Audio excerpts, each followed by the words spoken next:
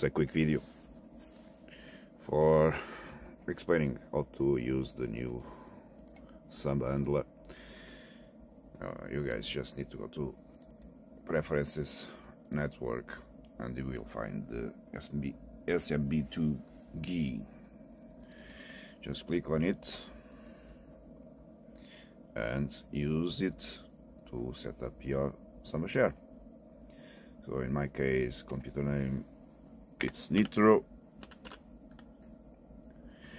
Nitro. By the way I'm using the Windows the Windows the Amiga 2000 with a box okay to access the network shares. Then the share volume is Z in my case. Uh, I will give it the name as Samba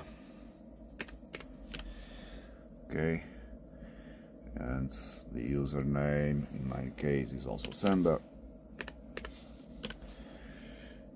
and is password the the share is protected with a password then I will put my password. In this case is also Samba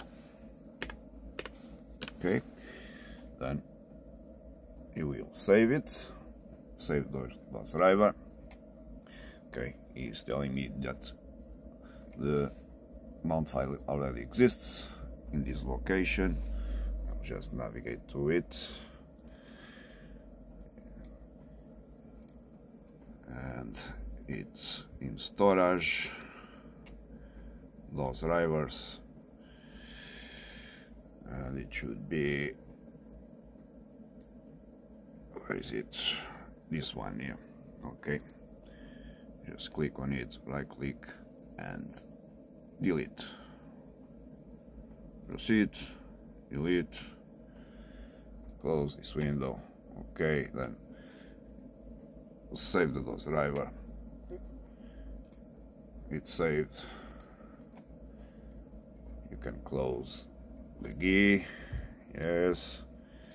I'll go again to the storage uh, DOS drivers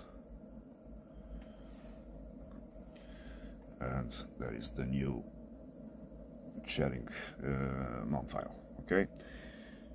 Don't forget you need to be online. Hmm? and if you click on the mount file there it is my Samba share okay? Pretty easy